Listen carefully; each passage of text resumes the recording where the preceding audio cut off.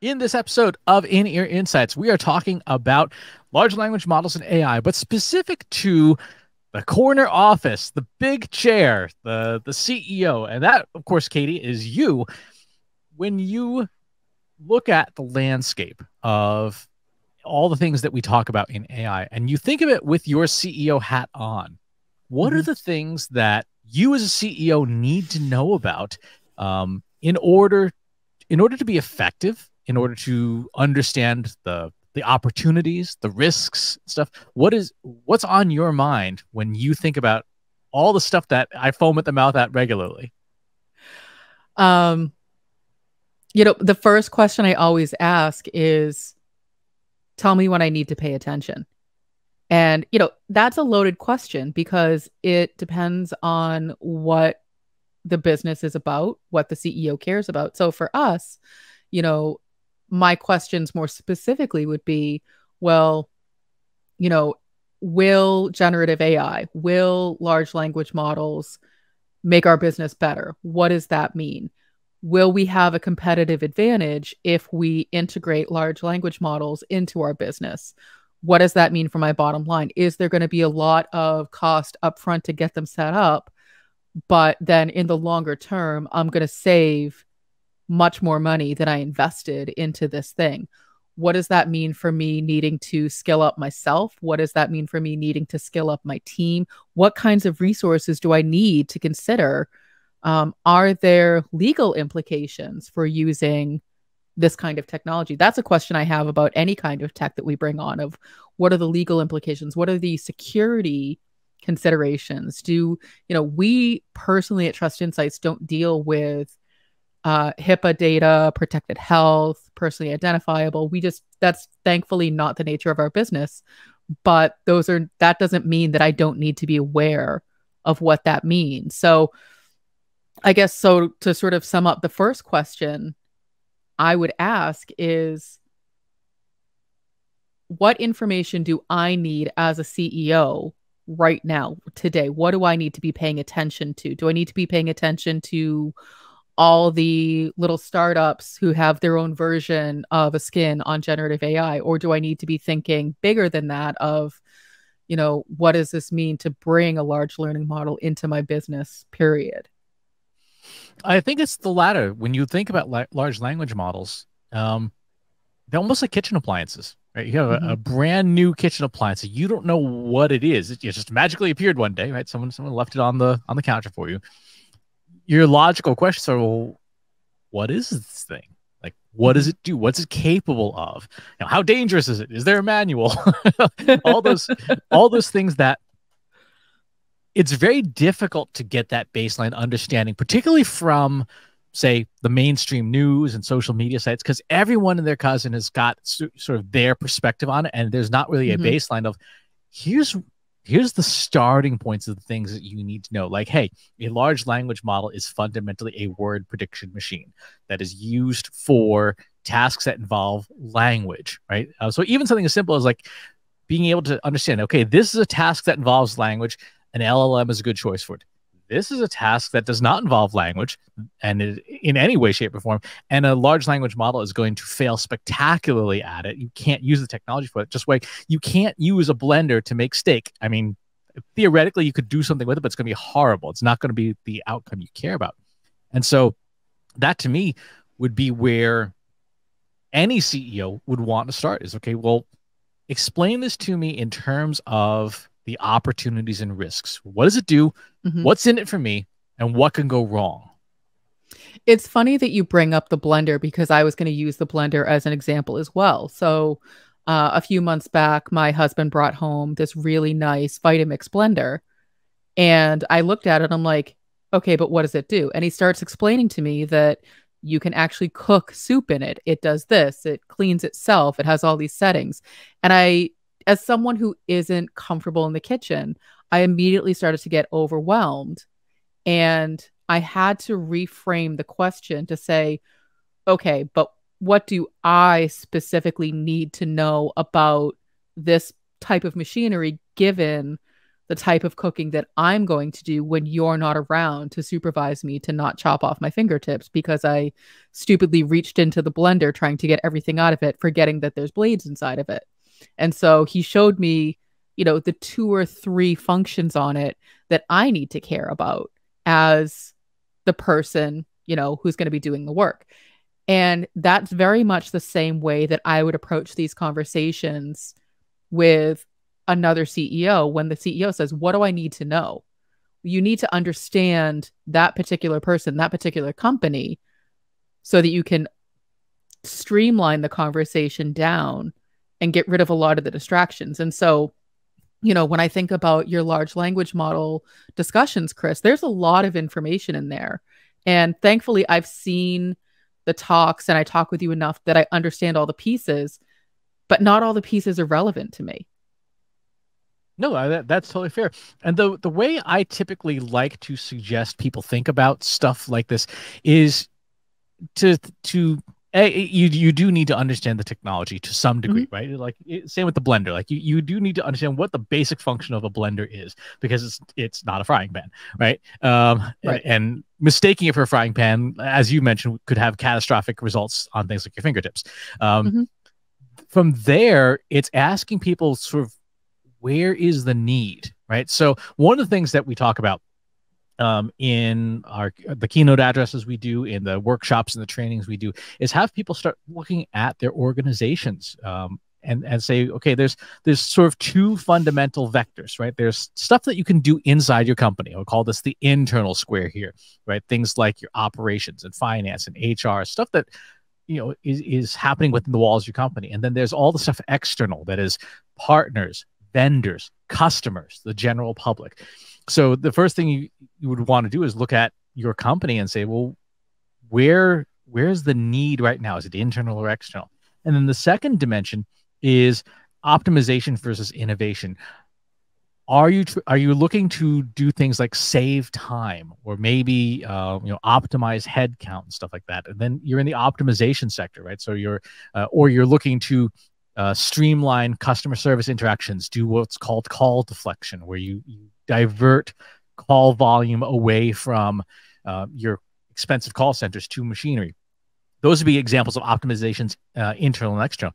Or are you looking at innovation? Right? Are you looking at net new things, new capabilities? Like you know, competitively, there's no difference between you and the, the next three competitors other than the logo, right? But you all do exactly the same thing. Is there an opportunity to take this new thing and offer something new externally or internally introduce a new product line, introduce a new line of business based on the capabilities that, that any tool gives you. And so that's how I would typically start a very high level discussion with the CEO because uh, other than just knowing the basics, you don't really need to mm-hmm. know like tokenization and embeddings and transformers. That's that's not helpful. It's Mm-mm. look at the business and say, well, where are your needs right now?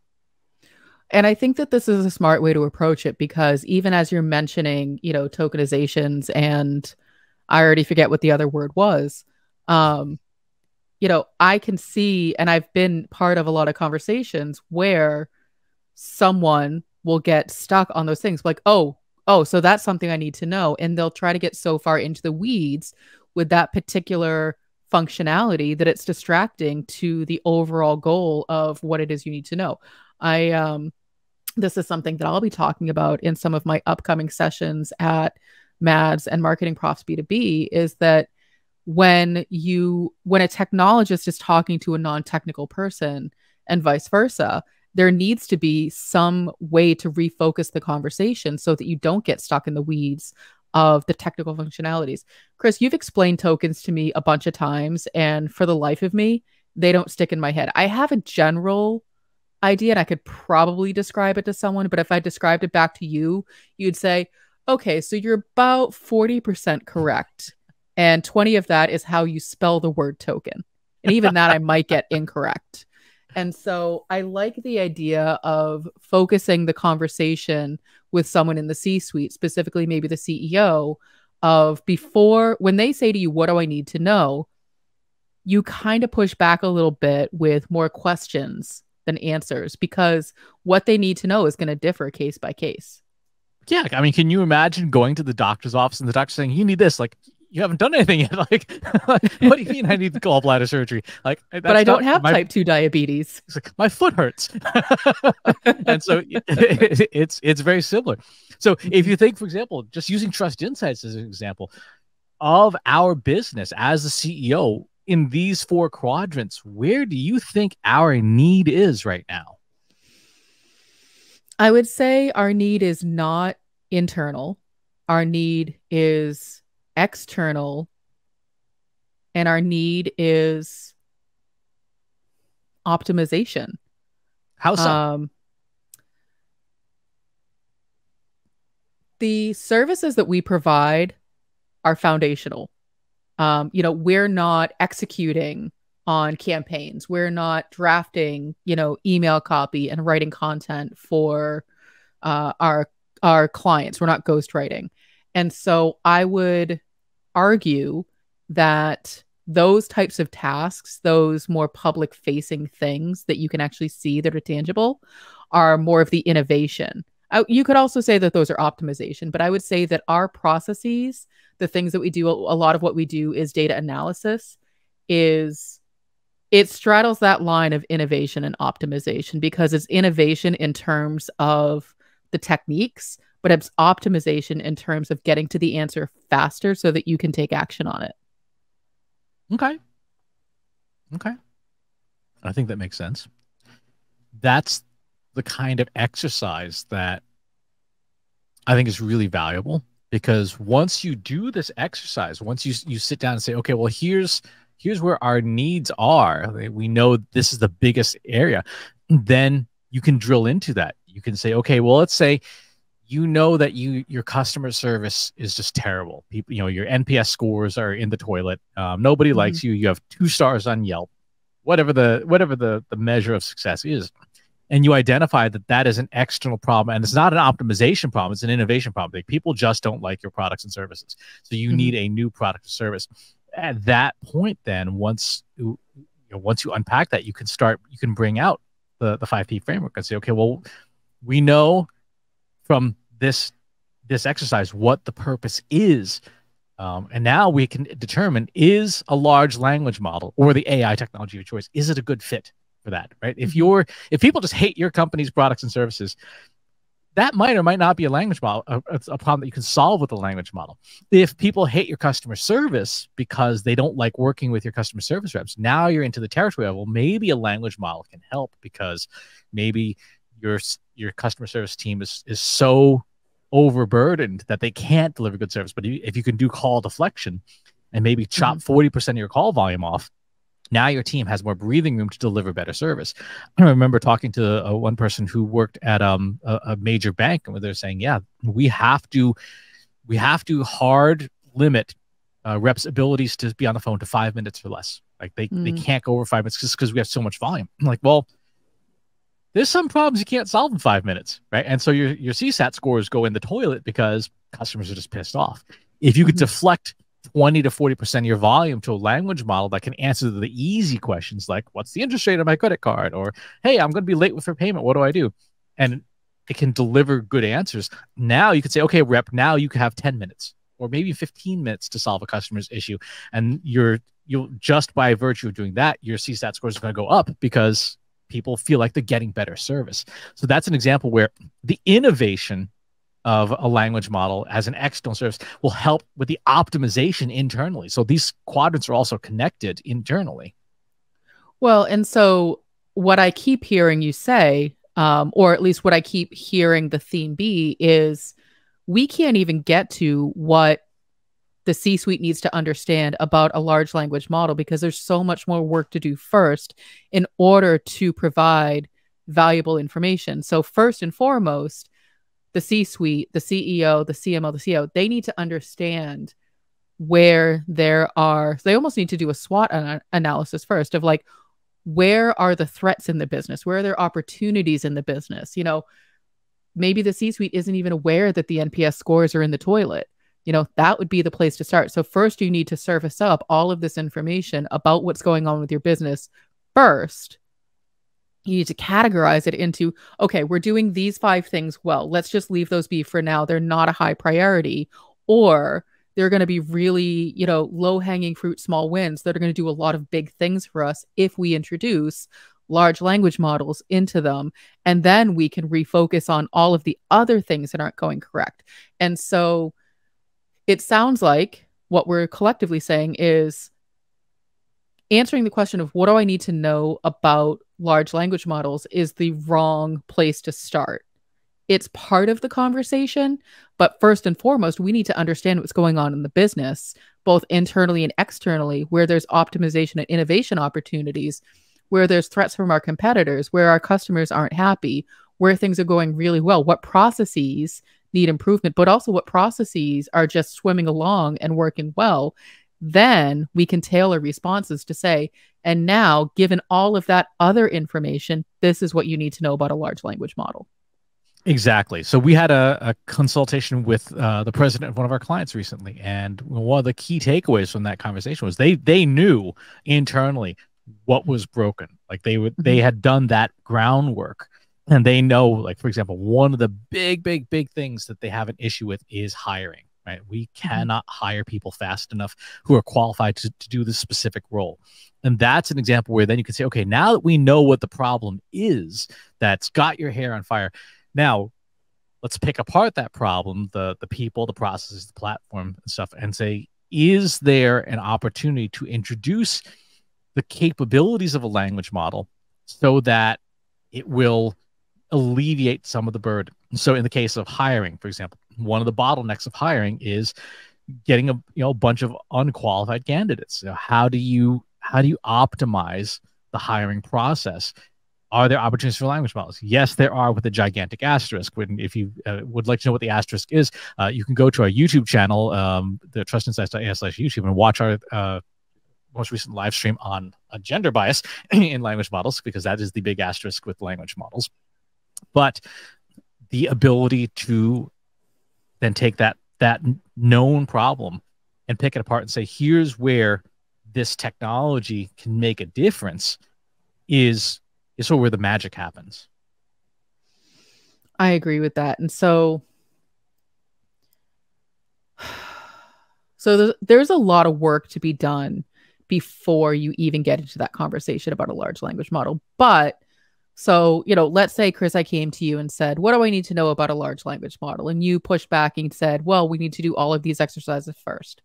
I can 100% of the time imagine that a CEO would push back and be like, yeah, yeah, yeah, that's great. But I still need to know what this thing is.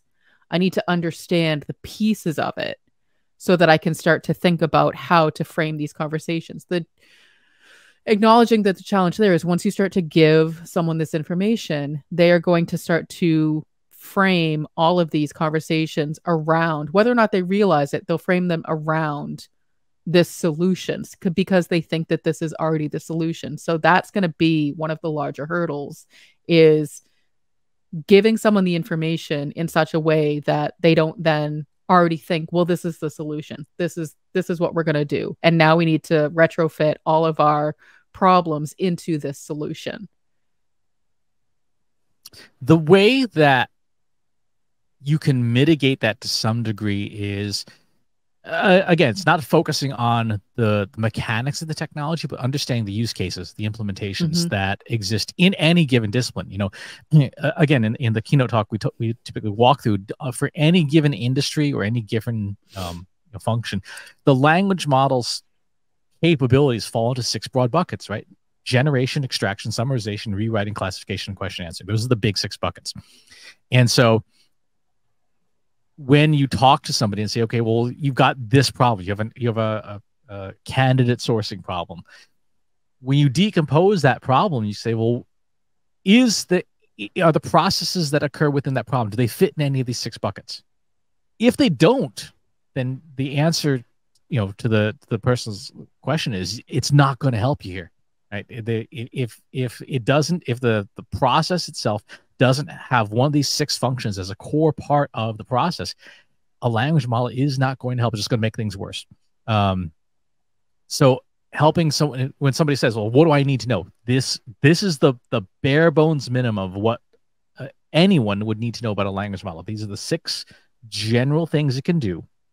There are obviously use cases for every single one of them that are specific to the job that's being asked for. Uh, you know, for example, if you're talking about finance and the, and the CO's, CFO's office, one of the easiest, biggest things you can do is say, okay, well, here's the new tax regulations for this year. Summarize what's changed so that we can adapt our processes quickly. And that's a, that's a you know example of really low hanging fruit. Very very easy mm-hmm. for a machine to do. Super valuable for the entire CFO office because they can go, okay, well now we know we have to meet these new regulatory requirements. But it's contingent upon the CFO knowing, hey, tax law has changed. What do we need to know to be able to ask right. that question? But I, this is where I would start when you would say, uh, "What do I need to know?" This is where you, this is what you need to know. And I think that that makes sense because you're not getting into the technical pieces of it. You're not talking about tokens. You're not talking about fine tuning. You're not talking about things that are relevant but could be distracting to that any to that specific audience. Um, right. You know, I, I would imagine if you're talking to the CFO and you start talking about tokens, they may start because they are bottom line driven, trying to add up in their head. Well, if I only have this many tokens and this many people and this many times I can run the thing, like what is that going to start to cost me over time? Given what we want to do with the thing, like it can be very distracting. It's all important information that has a time and a place. But when you're introducing these topics, introducing these technologies to someone who's unfamiliar with it, you have to focus the conversation. Absolutely. This framework is essentially more or less the cookbook, right? You don't need to know that a blender basically uses a series of electromagnets to power a motor that uh, a brushless motor to, to operate at a certain speed. What you do need to know is don't use it for steak. use it for soup, use it for smoothies, definitely use it for margaritas. Don't use it for steak. And so having this this sort of conceptual cookbook gets you to that for language models. Use it for this. You'll notice on here nowhere does say analytics, right? Nowhere mm-hmm. does it say um, uh, like double account, double entry bookkeeping, because those are not language tasks, and therefore they don't fit in this language framework of what this tool can do. And so, even just understanding that distinction will help reframe the conversation for a CEO, a CFO, a CTO to say, like, hey, Microsoft is going to be rolling this stuff out into Microsoft Office and, and it's going to be in Google Workspace. What are we supposed to do with it? Well, what language based things are you are you trying to to optimize in your organization? What things do you have problems with that are not language? Language models will help with that. Language models will not help with that. So, what if the CEO comes to you and says, Well, how are we going to make more money using generative AI? Or can we make more money? Or, you know, can I let go of my whole sales team because generative AI can do all of this for me? Um, what if the CEO says to you, um, you know, I heard that Bob down the street, my biggest rival of a CEO and always beats me in tennis, uh, is using generative AI. I want to use it too. I mean, so to answer the questions about can I make, I, I can't fix Bob's tennis shoes. I right? mean, that's, that's... you just you need to get a better coach, I guess. Um, but we go back to, well, what's what's most broken. Because fundamentally machines do what? They they do things better faster and cheaper. They they typically do a better job with most tasks than humans do for the same equivalent task. They do stuff a lot faster than humans do and they typically do it much cheaper. Um, so when you look at your two by two matrix of of the issues that you have in your organization one of the the ranking factors for deciding you know how you prioritize should be is this costing me a whole bunch of money or mm-hmm. am I not making enough money from this? So let's say, yeah, I used to work at a company that had a terrible, terrible sales team. They closed less than 1% of the opportunities they were given. Um, you could have replaced most of the sales team with the dog and it would have come out, it probably would have closed more deals. The dog would have closed more deals because it just would have looked cute and barked. Um, mm-hmm. I'd buy it. I don't know what you were selling, but I would have bought it. um, and so a big question there is okay, well, great. So we know the sales team is the problem. It's an optimization problem. It's internal, but it's costing us a lot of money because it bleeds over into the external. because we mm-hmm. can't sell to people. Why? Because the salespeople themselves were not skilled salespeople. They were just randos picked up off the street. Um, it felt that way anyway. Hmm. Is that a language problem for a good chunk of the sales process? The answer is yes. Right? They were they were they were doing the old grab them by the tie and choke them till they buy. Right? That which stopped working 20 years ago. Um, More than that, yeah. Yes.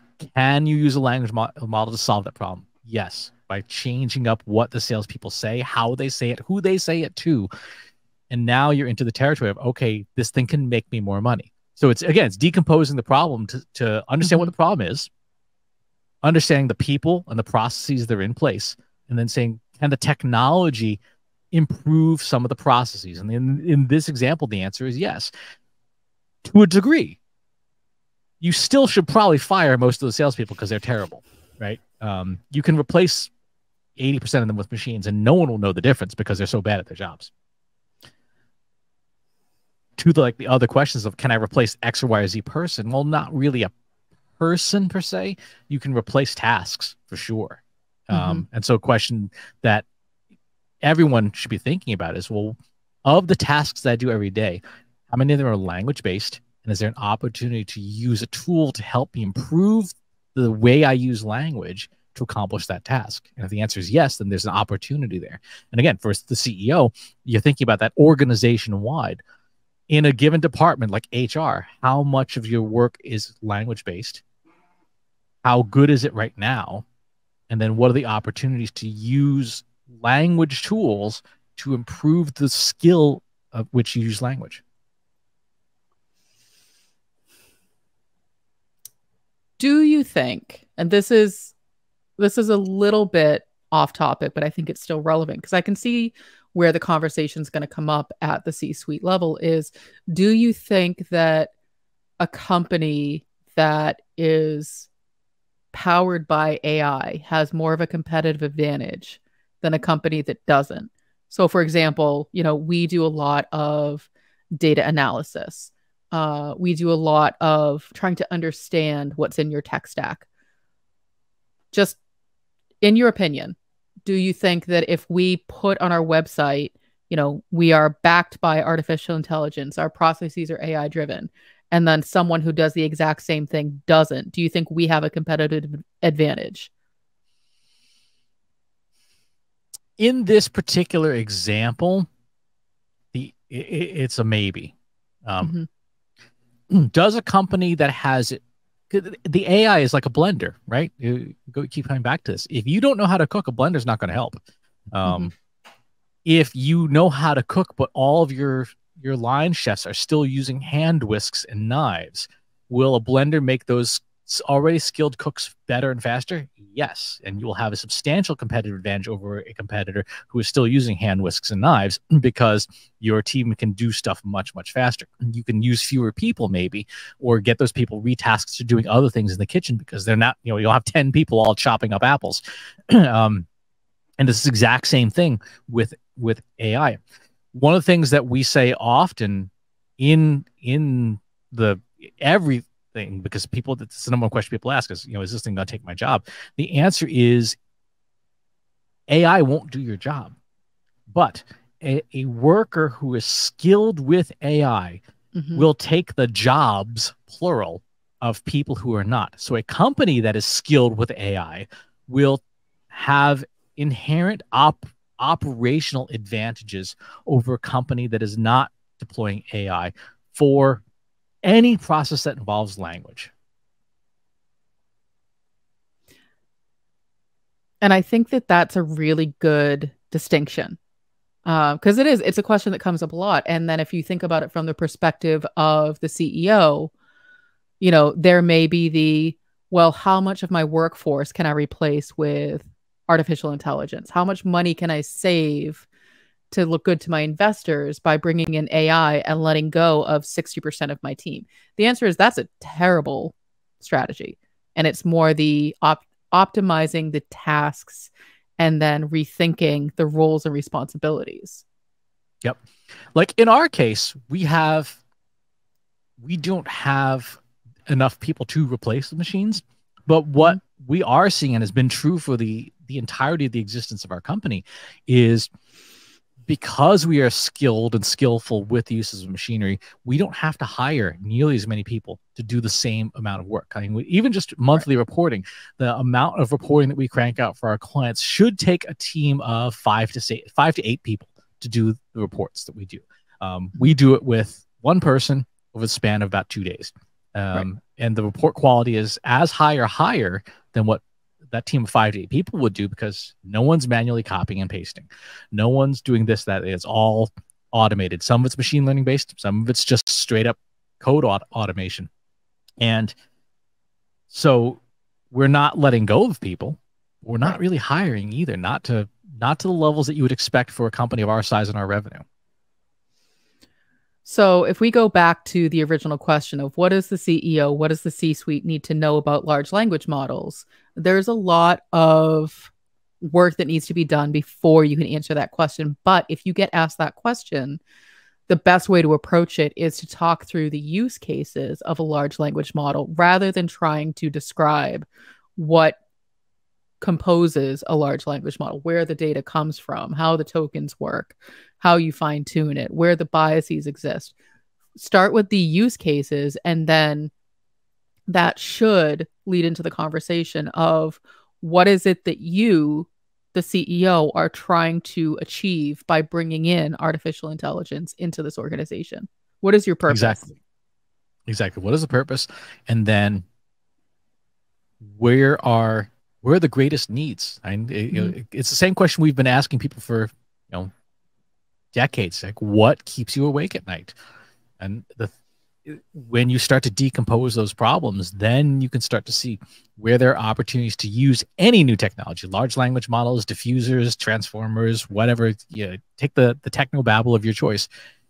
If you decompose those problems into their component pieces and break them down into the five P's, you can say, okay, here's where this technology is a good fit. And more importantly, here's where this technology is not a good fit and it's not going to make things better. Because one of the problems with shiny object syndrome that a lot of people have, or I call airline magazine syndrome, is you think that a tool can be used for everything. And it's good to try. It's good to to to do that exercise of okay, you know, should I try this?